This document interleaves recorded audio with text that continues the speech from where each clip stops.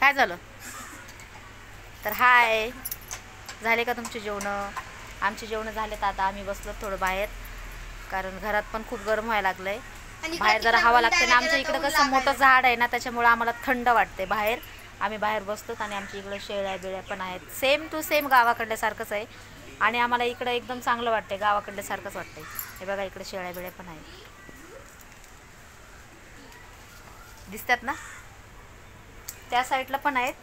पण तिकडे पण एक मोठी शेळी बसली. आतमध्ये आणि ही इथं प्रज्ञा बसली तिला तर काय ऐकायला येत नाही काय बोललेलं काय? नाही. तिला किती वेळची आवाज देते मी ती काय येत नाही असं कसं दिसतंय झुमझुम? ते उन्हामुळं कॅमेरा जरा हे होतोय माझा. जेवली का तू? कवाची काय खाल्लंस? काय खाल्लं? ये इकडे ये. डाळ भात. इकडे ये. दादू आणि मंथन पण काय माहिती कुठे गेलेत? थोडं त्या साईडला बघते मी दादू मंथन आहे का? ए ये इकडं प्रज्ञा. इकडे ये. बघितलं तिकडं दादू आणि प्रज्ञा आहे सॉरी मंथन आणि दादू नाही आहे तो तिकडे गेले आहेत बहिणीच्या घरी. जाऊ द्या. काय? कशाला घालायची? मी नाही घालणार. तू काम ऐकते का माझं? नाही ऐकत ना? घाल ना.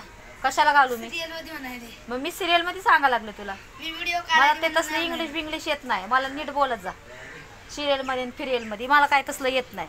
हा नीट सांगायचं. मी तुला खरं खरं सांगते. मी ये निघालेलं सांगते. असं खरं खरं सांगायचं. मला कळत नाही ते इंग्लिश बिंग्लिश मारू नको मला. व्हिडिओमध्ये ये म्हणल्यावर येतीस का? व्हिडिओमध्ये येत नाही काय नाही. आणि नुसतं म्हणते मला हे कर ते कर. कशाला करायचं हिला? सांगा लागले इथं बसून आय टी ते बघा.